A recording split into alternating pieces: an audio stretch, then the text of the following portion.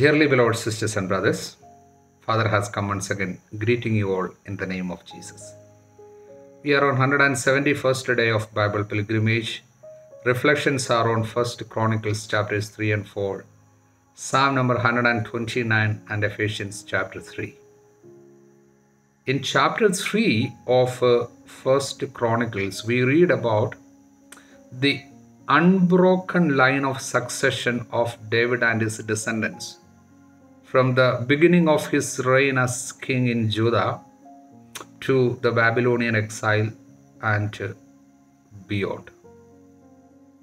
For hundreds of years, the Davidic dynasty maintained its position on the throne of Judah with remarkable longevity. So, in this chapter 3, in the genealogy, we read about almost all the kings of Judah. Maybe only exception that uh, wicked queen Athaliah is not mentioned. In spite of all the foolishness and wickedness of many of the successors of David, the unbroken succession of Davidic dynasty continued only because God was keeping his promises to David. Whereas what happened in the nation of Israel, you know, the northern kingdom, we know it. They had several dynasties coming and going. But in Judah, things were different. Hallelujah. We often think that our choices determine our destinies. But there is something else to it. That is, see, just as the blessings David and his family experienced were the results of God's kept promises.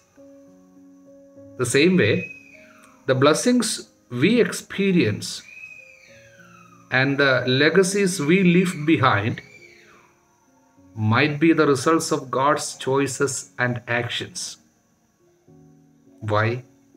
See, when uh, you know, when we follow the Lord uh, more closely, doing His will, obeying all the time, then God brings us greater blessings. But even when we are in sin, very often we fail to obey. We fail to take the right decisions.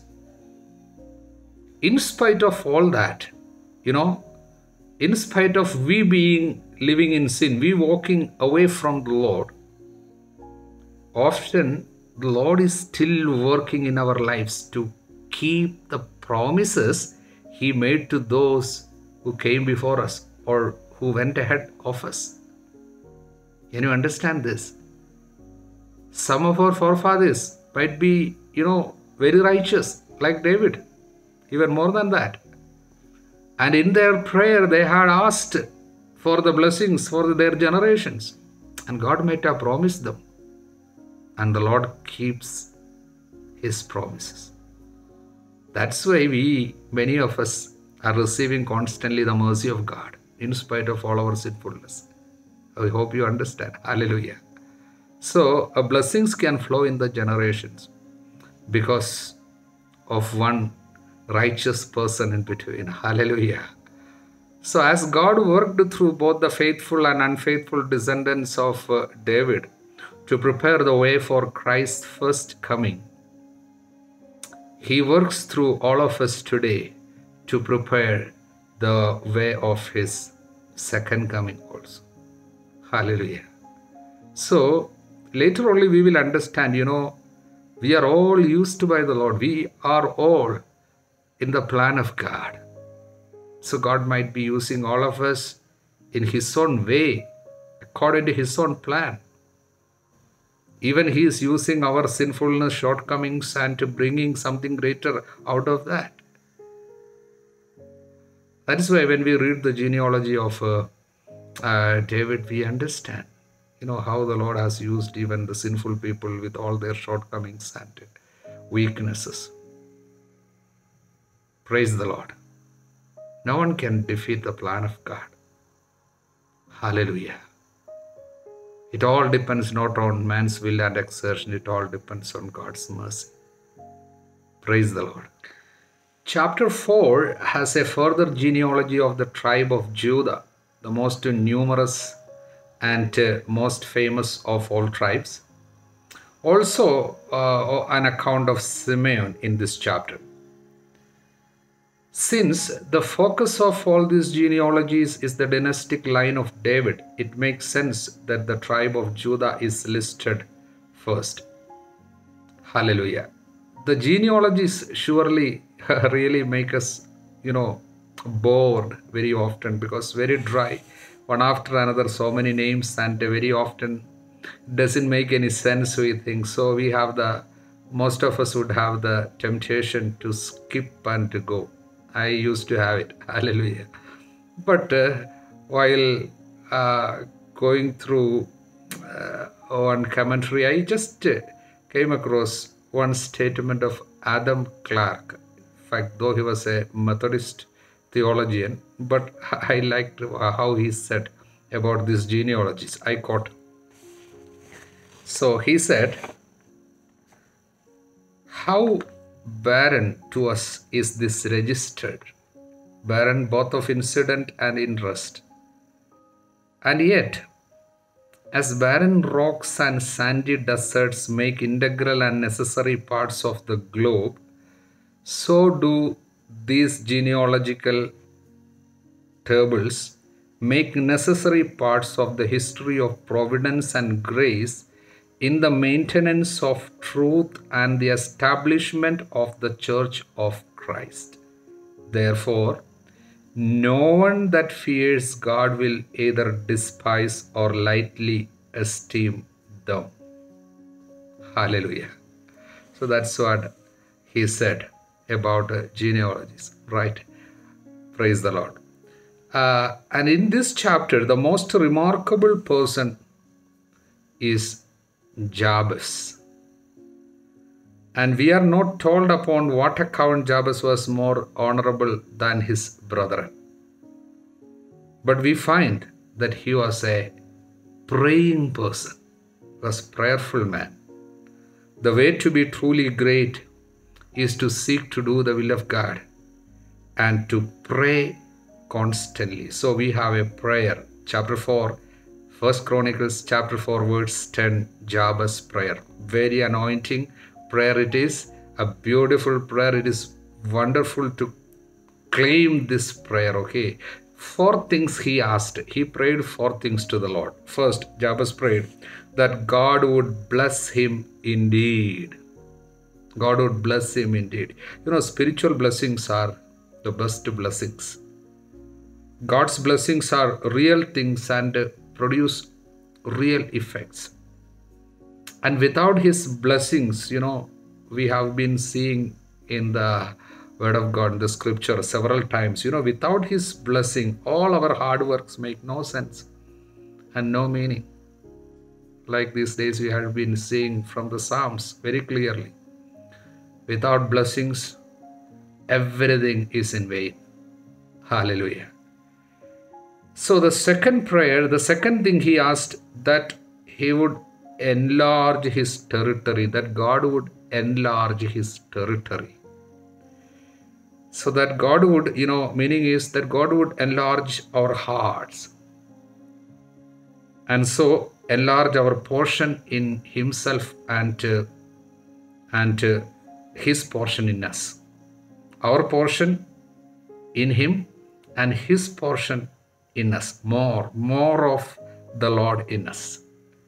Also, you know, uh, territory enlarged has another meaning that uh, we have spiritual authority over more people, more place, that we become instrument of blessing and salvation for others. Enlarge my territory, meaning, you know, may I have more authority, spiritual authority over more people, so that I can save many people in Jesus. Praise the Lord. The third prayer, uh, the third thing he asked is that God's hand might be with him. Hallelujah. God's hand with us to lead us, to, to protect us, to strengthen us, and to work with us to work all our work in us and for us. You know, that is the hand of God in us. You know, He will work in us. Let the Lord work through us. That is the meaning. May your hand be on me. Hallelujah.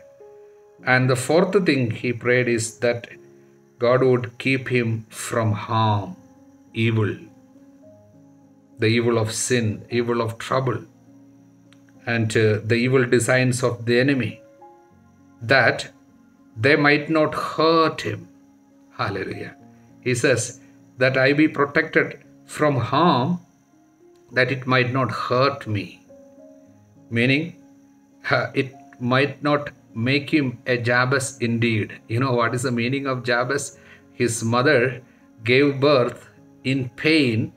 She had a lot of trouble when she was delivering this son. So she gave this man name Jabez, saying, Because I bore him in pain. So meaning of Jabez is connected with pain, sorrow. So he is praying that I should not be a man, Jabez indeed, meaning a man of sorrow. And God heard his prayer. God answered his prayer. The Lord is always willing to answer our prayer. His, his ears are always open towards our prayer.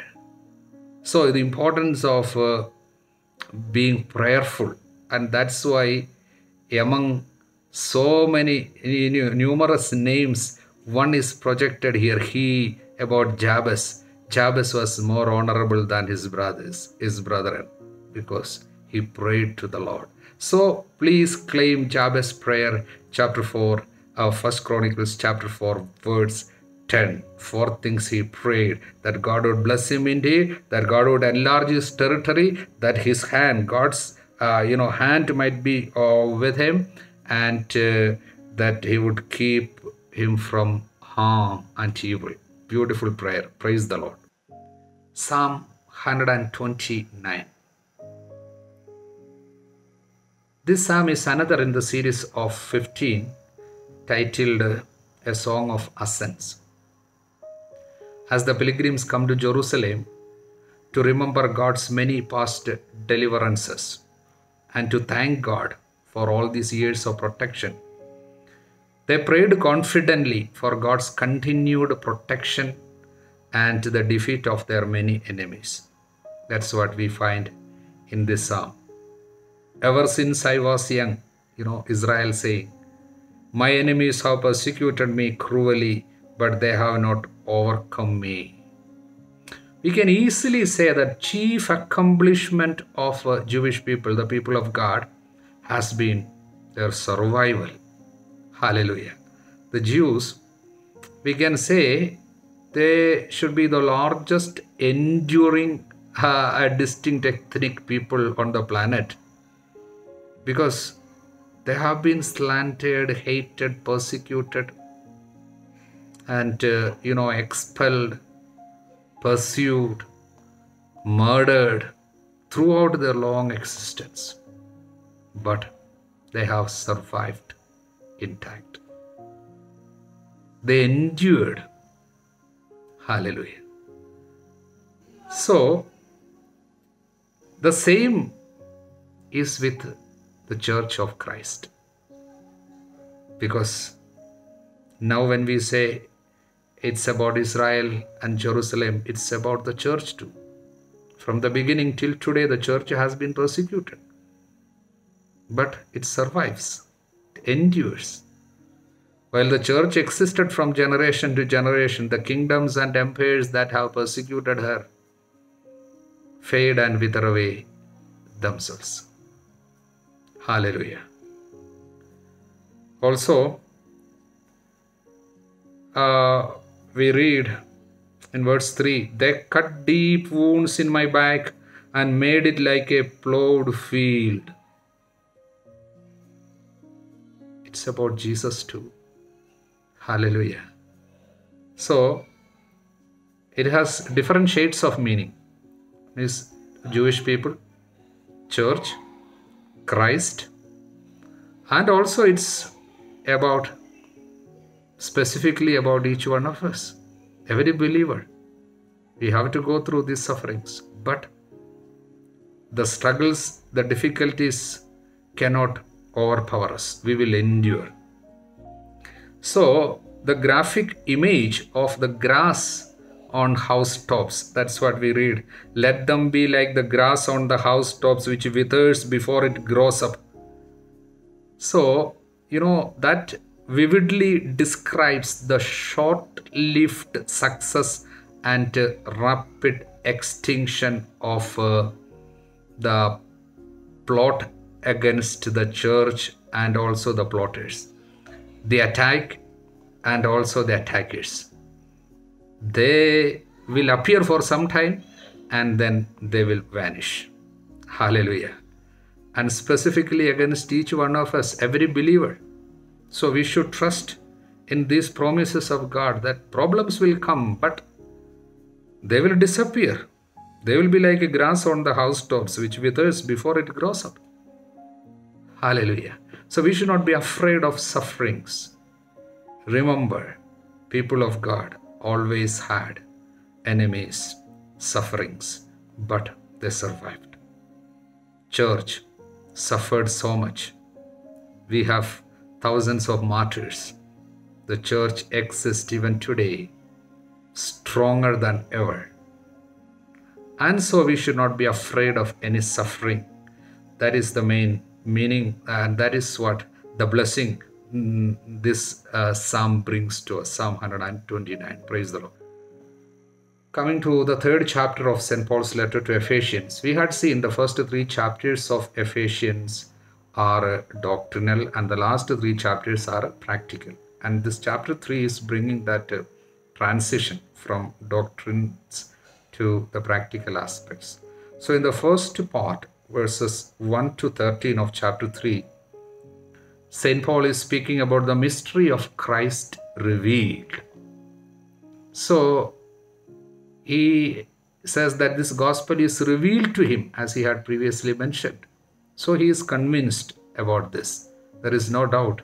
So, he, he says, What is that? Verse 6 That is, how the Gentiles are fellow heirs members of the same body and partakers of the promise in Christ Jesus through the gospel.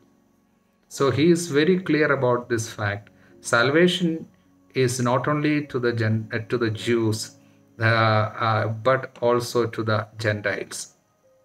Jews had laws, the Mosaic laws. So salvation is not obedience to the laws alone, but the salvation is by through grace by faith in Jesus. So he is convinced about that. So in the second part of this chapter, verses 14 to 21, it includes a personal prayer by Saint Paul, a beautiful prayer. Like uh, we had seen the Jabez prayer. This is Paul's beautiful prayer. He is kneeling down in prayer asking mainly three blessings. The first thing he is asking God to give the Ephesians inner strength through his spirit, inner strength through the spirit of God, that they be strengthened with might through his spirit in the inner man. Hallelujah. Second thing, that Christ may dwell in your hearts through faith. Hallelujah. Through faith, Christ may dwell in you. So, the presence of Jesus Christ you receive through your faith, he is proclaiming in his prayer. And the third thing he is praying is a desire that these people, the Ephesians, to know, they should know the depth of Christ's love that surpassed all knowledge. It's a beautiful prayer that you may come to comprehend with all the saints what is the breadth and length and height and depth, and to know the love of Christ which surpasses knowledge, that you may be filled with all the fullness of God. So, three beautiful things he is asking. Hallelujah. Now he is concluding this chapter with a doxology to the Lord. In fact, that is the conclusion to the first part of uh, uh, his epistle, three chapters. Now, from fourth chapter, it's beginning with the practical teaching. Praise the Lord. May Almighty God bless you. Father, Son, and the Holy Spirit. Amen.